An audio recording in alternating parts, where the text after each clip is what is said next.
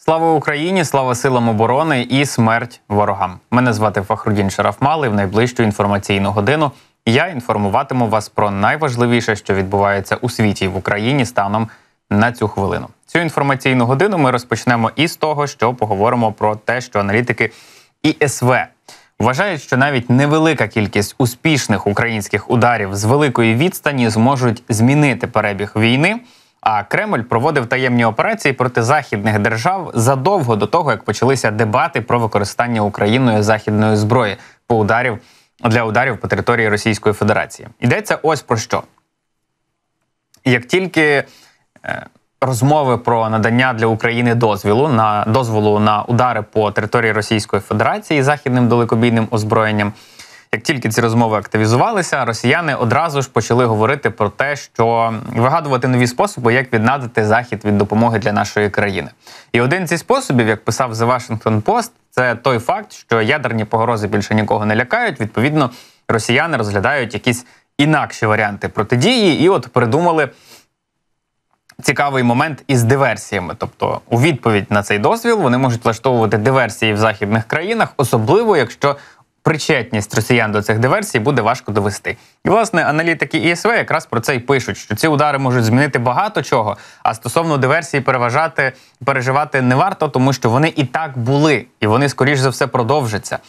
Як пишуть аналітики ІСВ, російська влада, схоже, докладає значних зусиль, щоб вплинути на західні дебати щодо дозволу Україні використовувати зброю, надану заходом для завдання дальніх ударів по військових об'єктах на Росії.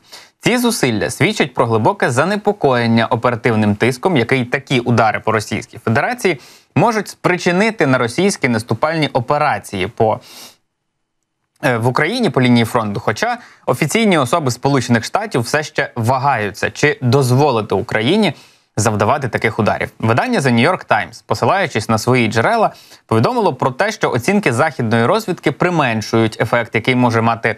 Е, на хід війни в Україні українські удари по Росії, відповідно з ракетних систем дальнього радіусу дії.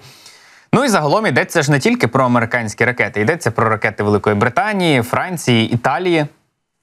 Але через невелику кількість загалом такого озброєння, як принаймні про це стверджують наші друзі та партнери, виникає невизначеність щодо майбутнього, в тому числі і надання більшої кількості цих систем.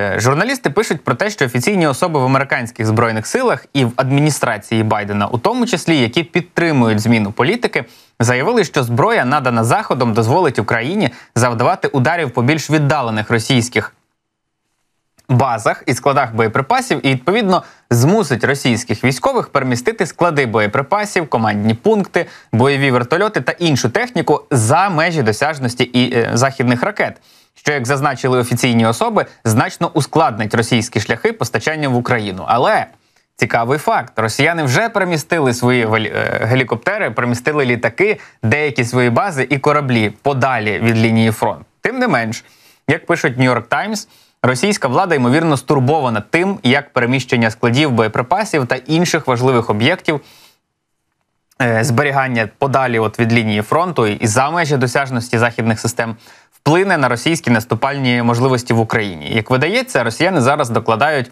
значних зусиль на словах для того, щоб не допустити того, щоб Захід дозволив Україні здійснити ще одну таку саму значну кампанію з нанесення ударів.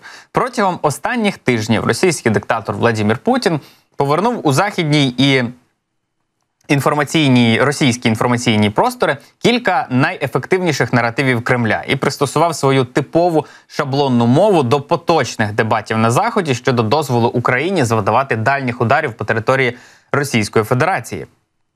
Виходи від дозволу Україні, вигоди точніше від дозволу Україні використовувати проти Росії західні системи дальнього радіусу дії можуть переважати над ризиком російської відплати більше ніж західні політики наразі вважають.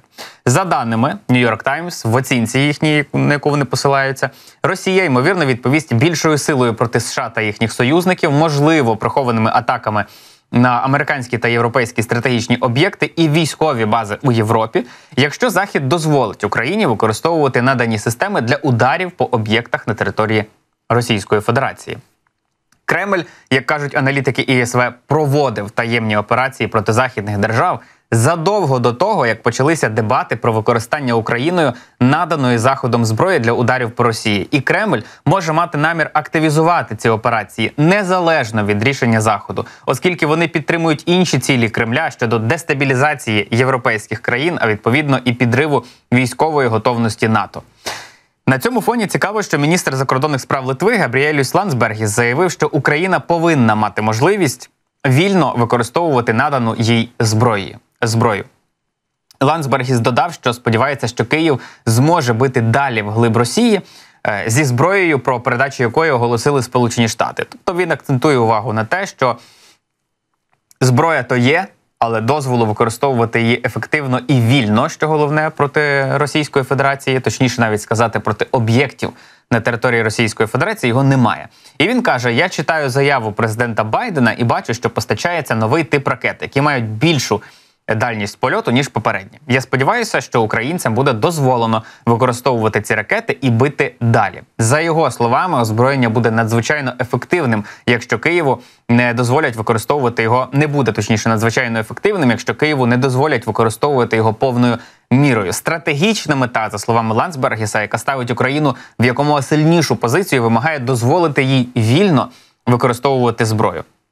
Нагадаю, що Глава МЗС Британії Девід Леммі раніше заявляв, що рішення щодо зняття обмежень для України на застосування західної далекобійної зброї по території Російської Федерації може бути прийняте до початку зими. За інформацією The Times, Сполучені Штати і Британія, начебто, готуються надати для України дозвіл на використання ракет Storm Shadow, власне для ударів по території Російської Федерації, але це рішення має бути непублічним, щоб зберегти елемент несподіванки для.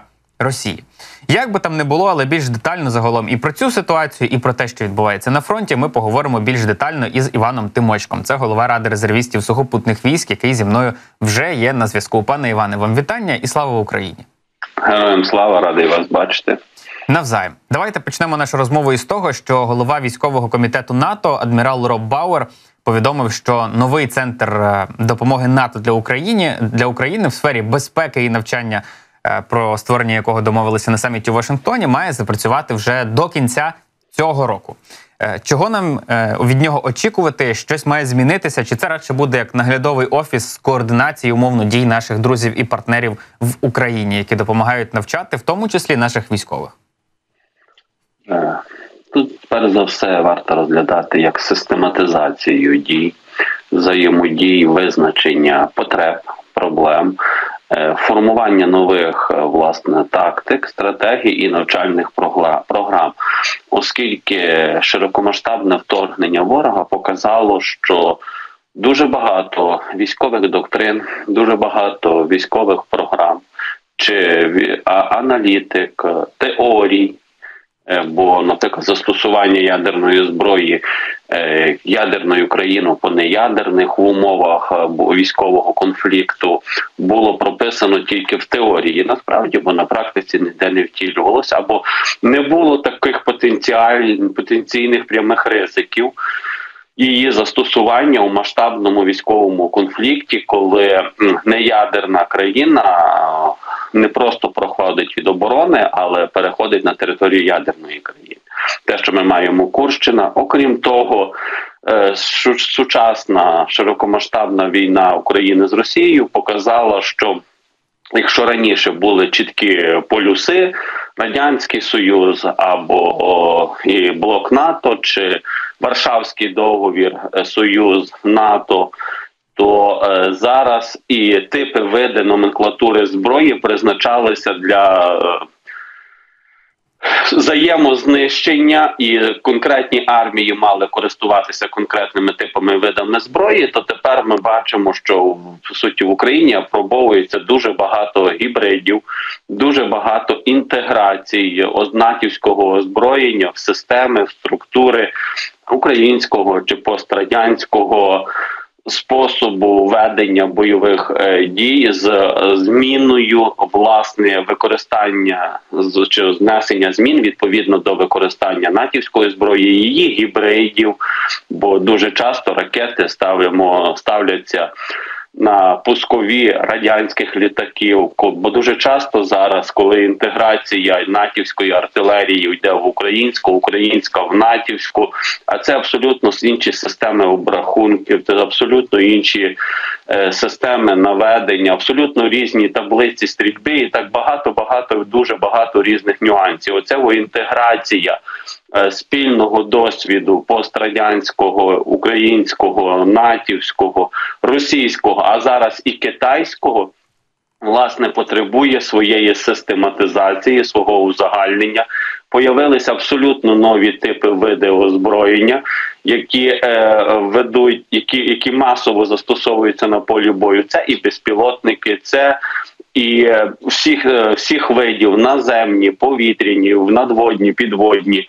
Це і удосконалені системи радіолокаційної дії чи радіолокаційного впливу, це е, застосування супутників у межах бойових дій. Все це потребує узагальнення, усистематизування і власне створення єдиного продукту від від регламентування бойових дій, скажімо, з тактичного до академічного чи стратегічного рівню. Це і обмін досвідом, це і взаємодія. На рівні військових з'єднань різних країн насправді це удосконалення підготовки, навчання досвіду з урахуванням здобутих е, знань на полі бою чи в навіть від банального е, створення логістичних шляхів, їхній захист, прикриття, оскільки е, зараз склалася історично така ситуація. Якщо ми так беремо сугубо, знаєте, відносно пострадянських укладок е, чи пост тих полярних укладок, то логістика країн НАТО по суті працює для підсилення країни пострадянської країни, проти якої напала радянська колишня радянська країна з імперським мисленням, коли логістика інтегровується, системи прикриття інтегровуються, коли поля поле бою е, зараз. Хоча раніше планувалося, як якщо були тільки дві полярності, що бойові дії будуть тривати або натівськими військами на території радянського союзу, або союз на території країн НАТО. Тоді, коли зараз бойові дії відбуваються проти радянської країни, яка агресором виступила проти країни, яка була в свій час окупована в колонії, тобто. Е, ворог знає тут військові бази, знає мережі, знає наші потужності, нашу логістику, і ми маємо також зараз з нашими союзниками це все обходити, організувати відповідний захист, оборону, протидію. Це коли е, бойові дії відбуваються проти країни в рази більшої країни з потужною економікою. Країни, яка не має, скажімо, повного закритого циклу озброєння в себе, але доста самодостатня в плані, скажімо, законсервованої техніки. Тут багато нюансів, і для того, щоб все це відбувалося вже системно, практично, щоб це вже ми розуміємо, що сам потенціал буде нарощуватись. Бо е, з появою авіації в нас країн НАТО, з появою систем протиповітряної оборони країн НАТО, все таки е, все це, вся ця база, вся ця підготовка, весь цей конструкт він веде до одного до інтеграції збройних сил в структуру збройних сил країн НАТО. Тобто, це якщо ми можемо говорити вступ України, блоковість е, чи тісна взаємодія, то е, про армію ми розуміємо, що українська армія інтегровується в рази швидше, аніж, скажімо, політична інтеграція в НАТО.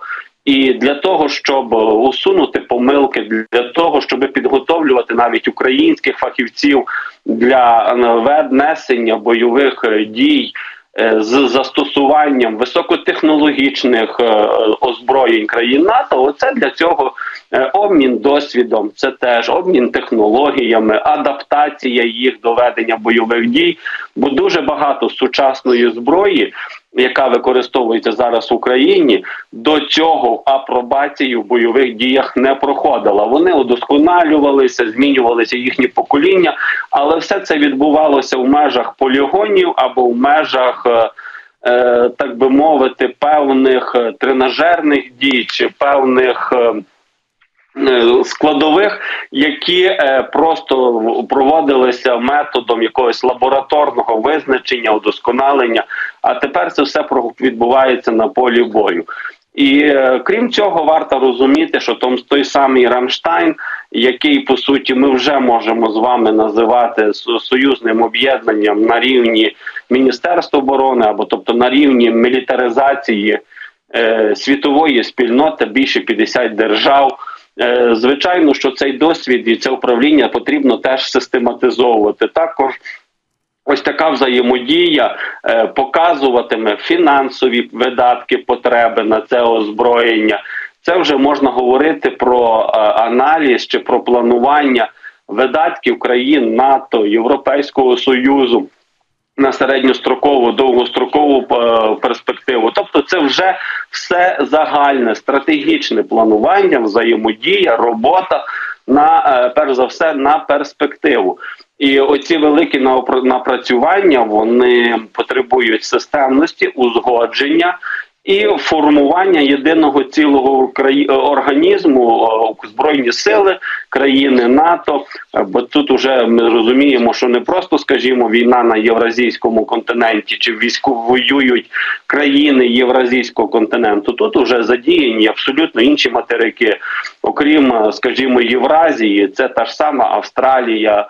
Е, це ж сама Америка, Північна Південна, тут так чи інакше задіяна Африка. Тобто, ми можемо говорити, що по суті майже всі заселені континенти е, так чи інакше дотичні в цій війні. Це вже дуже дуже величезний пласт роботи, здобутий пласт роботи, який потребує взаємодії, пласт, який по суті формуватиме не просто вже військову справу на майбутнє, а й формування політичних союзів, е, міжнародних політик, формування утворення нових міжнародних інституцій. І тому я би вважав, що до такої такого продукту, як е, зараз формується на базі НАТО, насправді це є дуже і дуже важливо. До нього потрібно дуже і дуже серйозно підійти, оскільки це по суті впливатиме на цивілізаційний розвиток людства відповідно від того, які програми будуть розвиватися, які будуть відкидатися, як це впливатиме на е, міжнародні технологічні новинки на світові, як це впливатиме на великі і малі корпорації. На зони сфери впливу, і і ми по суті з вами з однієї сторони перебуваємо у війні з сильним ворогом, а з іншої сторони, по суті, ми є одні з засновників співтворців е, тої ж системи глобальної, згідно якої буде жити світ найближчим часом. Бо по суті, Росія як імперія себе не зреалізувала. Це так чи інакше вдарило зараз дуже серйозно по апетитах багатьох диктаторських країн. Так вони намагаються зараз об'єднатися, але вони швидше зараз виглядають.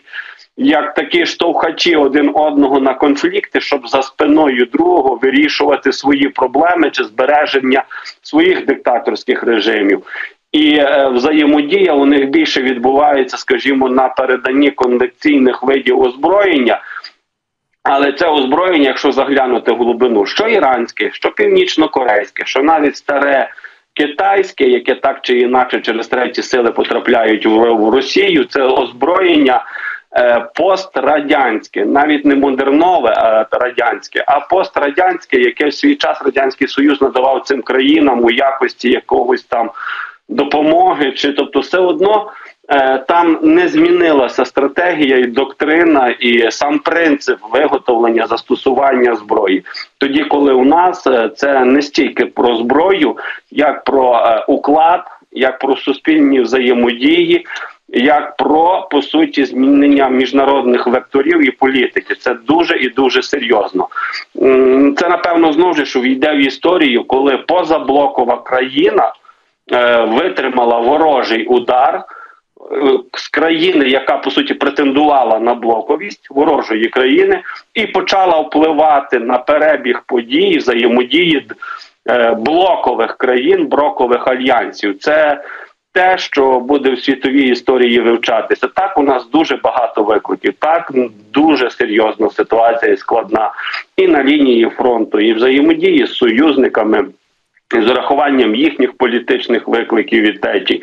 Але зараз про Україну ніхто не скаже, що це за країна. Всі знають, що таке Україна, і Україна впливає на світову політику, на зміну світових політик і об'єднань. Тут головне витримати цей ритм, цей режим. Навіть крайня поїздка президента Америки в Росію показала.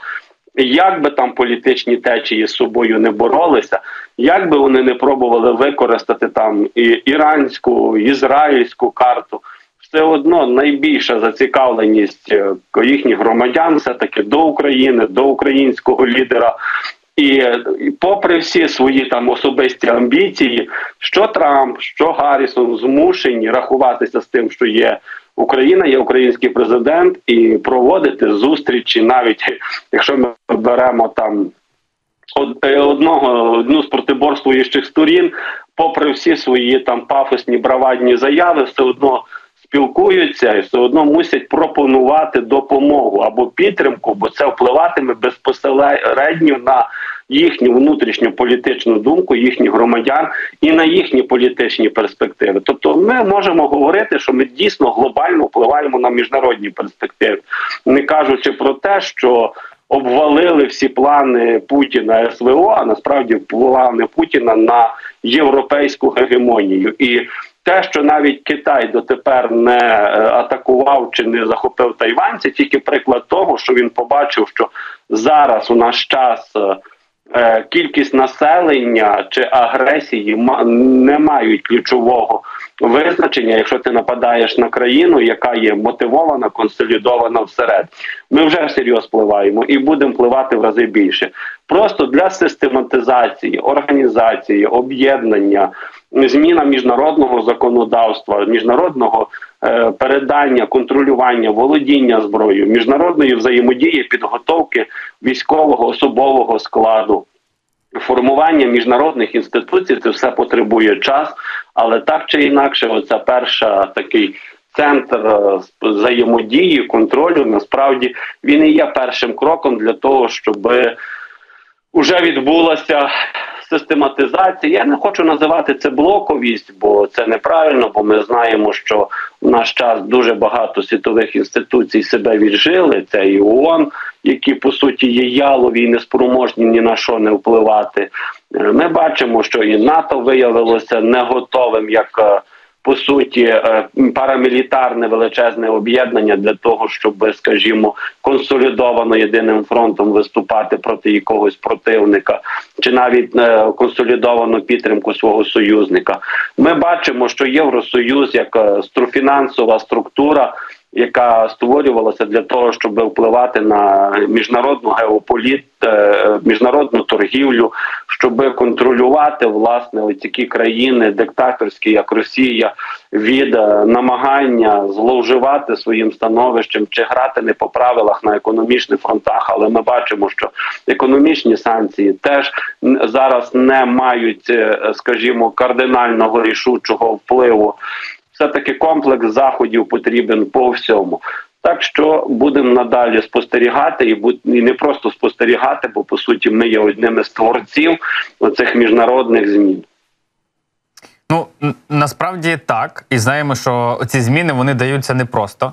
До них треба йти кров'ю і потом, бо іншого шляху, е, на жаль, для нас принаймні його немає. Але один із цих шляхів його теж е, Роб Бауер озвучив. Він каже, що операція збройних сил України в Курській області створила стратегічну проблему для кремлівського диктатора Владимира Путіна. Е, Проблему і дилему. В чому вона полягає? Бо на перший погляд здається, що йому абсолютно байдуже, що відбувається в його Курській області з населенням, з тим, що його авіація, його артилерія рівняє просто Курську область із обличчям землі, зрештою, так як це відбувалося на території України з українськими містами і населеними пунктами. Відповідно, він не дуже переживає, чи забирати звідкись війська, перекидати їх в Курську область, вибивати. Сили оборони звідти чи можливо продовжувати просування в Донецькій області і так далі. і так далі. Якщо це дійсно можливо, проблема на стратегічному рівні є. Це питання безпеки Російської Федерації. А як щодо от проблем на оперативному і на тактичному рівнях, чи створює це там проблеми для нього? Це створило шалену проблему. Просто річ в тому, що е, жодна е, генштаб російських, жоден штаб, жодна якась аналітична структура не розглядала взагалі варіанту бойових дій на території Росії. Для того вони всю свою концепцію формували як концепцію агресії і концепцію ведення бойових дій на чужій території.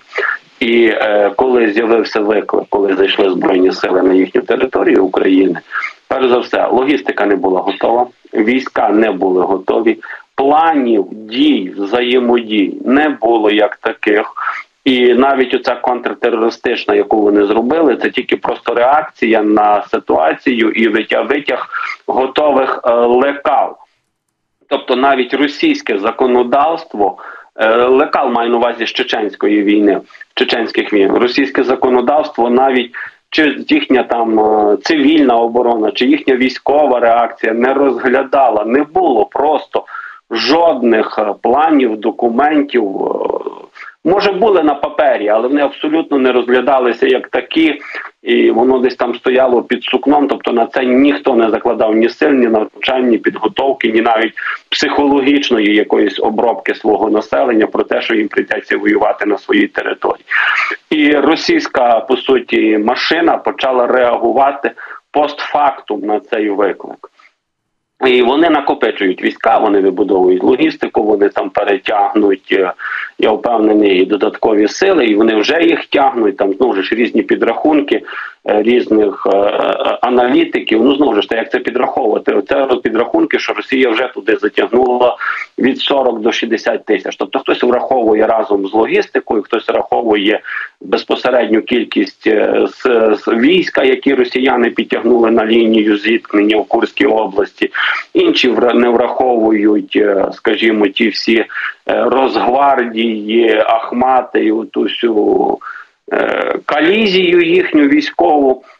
Хтось парамілітарну вірніше, хтось тобто можемо говорити, що в межах 40-60 тисяч російські війська вже там накопичені, але як виявилося, що цей військовий контингент не спроможний протидіяти поки що збройним силам ефективно, щоб його зупинити, щоб а щоб перейти в контрнаступ, все таки знов потребує додаткового накопичення сил. Е, те, що в інформаційному просторі Путін і його команда намагаються абсолютно ізолювати питання Курщини, не означає, що на військовому рівні це е, замовчується чи зараз відкидається. Впевнений, що там дуже дуже інтенсивно йде зараз робота для того, щоб активізуватися, для того, щоб е, зосередити додаткові сили, підтягнути резерви. Ми знаємо, що там вони дійсно е, перекинули до велику кількість, це напевно вже десь і четверта частина, може і більше е, з бойових бригад, принаймні підготовлені.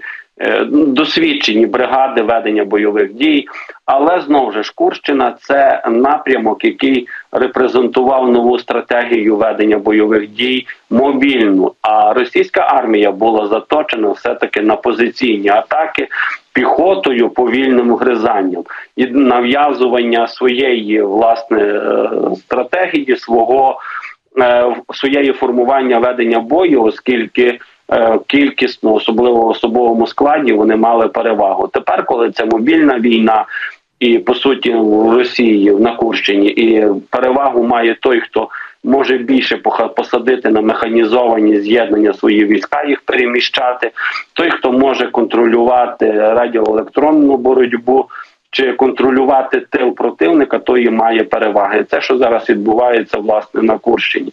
Але я думаю, що ворог ну звичайно не до 7 жовтня, не до якогось там народження Путіна, але він обов'язково спробує накопичити сили, вибудувати логістику, скористатися все таки е, тим, що вони можуть е, тягнути резерви, ресурси з тилу, е, щоб почати контрнаступальні дії проти збройних сил на Курщині. Тут буде інше питання: чи ми захочемо там заходити в фронтові події, чи ми захочемо перекинути, наприклад, активність бойових дій на іншу з російських областей.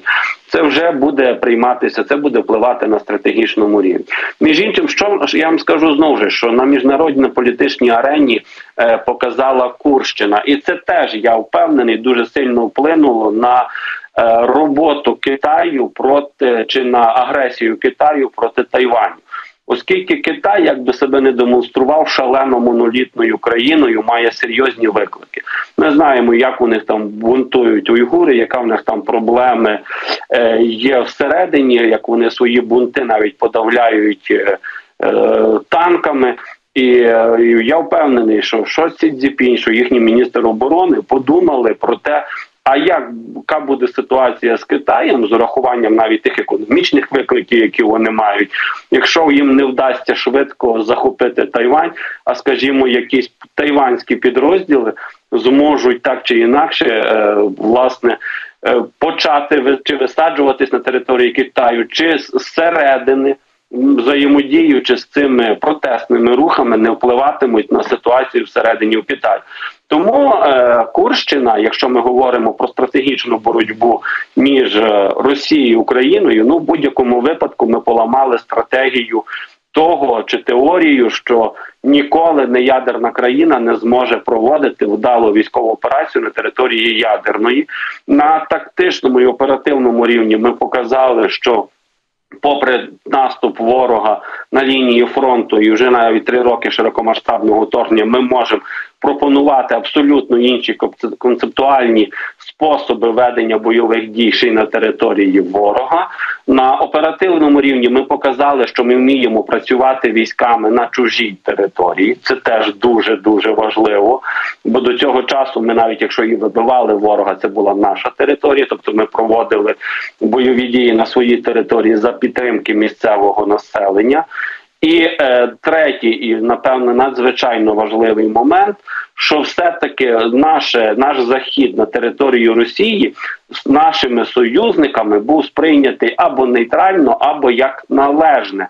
Тобто якоїсь паніки в на міжнародній політичній арені про те, що ми зайшли, що все пропало, що треба Україну стримувати, зупинити, як бачимо, не було. Це насправді дуже важливий момент, оскільки це означає, що наші союзники, Європейський Союз, країни НАТО психологічно виявилися готовими до того, що ми можемо запропонувати нову стратегію ведення бойових дій, і на оперативному рівні показувати успіхи знову ж асиметричні при меншій кількості, е, наступаючи проти в рази більших сил ворога, показувати результат. Так, звичайно, тут ще буде багато викликів. На жаль, це будуть і втрати, але силу української армії, українського війська черговий раз ми продемонстрували як найефективніше. І так воно триватиме надалі. При всіх умовах, при всіх там політичних е, внутрішніх негараздах, при всіх обмеженнях наших союзників. Е, це все одно не має значення, коли є консолідація, і коли від солдата до генерала є своя внутрішня взаємодія. Це те, що мають вчитися наші союзники. Це те, що мають вчитися наші українські політики, не язиками працювати, а все-таки результатом і своєю роботою на консолідацію, а не на свої особисті політичні амбіції. Бо інколи оті політики наші, та й не інколи, а дуже часто більше шкоди нам причиняють. Аніж вороги, бо ми їх розрізняємо, ми їх бачимо. Ми знаємо, це ворог, він агресор і він потребує знищення тоді як наші політики, прикриваючись е, благородними гаслами, на, жаль, приносять багато шкоди і роз'єднують суспільство військових. Е, створюють недовіру, що насправді не дає нам наповну проводити свою роботу. Зрозуміло. Ну принаймні будемо сподіватися на те, що відбудеться все найкращим чином, принаймні в плані от е, політичному, аби не заважали. Пане Іване, я вам дуже дякую за розмову. Дякую, що змогли долучитися до нашого ефіру. І нагадаю, що на зв'язку зі мною був Іван Тимочко, це голова ради резервістів сухопутних військ, з яким ми говорили про актуальну ситуацію на наших фронтах. І поговоримо також про те, що Естонія, Латвія, Литва і Польща звернуться до Європейського союзу для фінансування будівництва цілої мережі бункерів, бар'єрів, розподільчих ліній і військових складів уздовж кордонів із Російською Федерацією і Білоруссю. Про це домовилися міністри оборони цих чотирьох країн за підсумками своєї зустрічі. Як вони кажуть, війна Росії проти України показала, що створення фізичних перешкод на відкритій місцевості без природного оборонного прикриття має першорядне значення навіть у технологічно просунутій війні. Вони наголосили, що зовнішні загрози на Балтійсько-польському кордоні дедалі зростають, а нарощення укріплень вздовж кордону з Росією та Білоруссю залишається пріоритетним завданням, що сприяє виконанню нашого зобов'язання захищати кожен сантиметр території Північно-Атлантичного альянсу.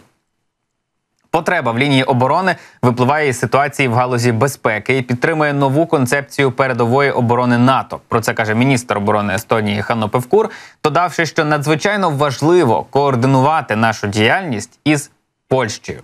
Водночас, вся ця історія з будівництвом укріплень, фортифікаційних споруд, бар'єрів, перешкод, складів з боєприпасами це зміцнює безпеку Європейського союзу і військову оборону його кордонів. Тому ми чітко бачимо, що ЄС міг би також фінансово підтримати цей проєкт. У звіті, принаймні, поки що не уточнюється, скільки фінансової допомоги Естонія, Латвія, Литва і Польща проситимуть у Європейського союзу на будівництво таких от укріплень на кордоні з Росією та Білорусю. Але знаємо, що ці дві країни е, вчиняють диверсії, провокації на кордоні з Польщею, до прикладу, в тому числі завдяки нелегальним мігрантам, яких вони яким вони показують шляхи проходу на території Європейського союзу, яким вони видають інструменти для пошкодження, от до прикладу, оцього ж колючого дроту та інших укріплень, які будувала, до прикладу, Польща.